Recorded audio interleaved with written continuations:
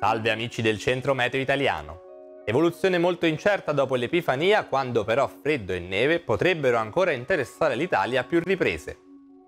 Sul finire della settimana un vortice depressionario dovrebbe risalire dalla penisola iberica in direzione dell'Italia. Questa dovrebbe anche interagire con un nucleo di aria fredda di estrazione polare, la cui traiettoria la vedrà passare però oltre Alpe e dirigersi verso la Spagna. Nel corso del weekend i principali modelli mostrano una risalita di aria calda sulle regioni del centro-sud, mentre al nord, specie nella giornata di domenica, non si esclude la neve a quote molto basse o di pianura. Per l'inizio della prossima settimana l'anticiclone delle Azzorre potrebbe rimontare da ovest facendo traslare tutto verso est e riportando un po' di freddo anche al centro-sud. Impossibile al momento spingerci oltre.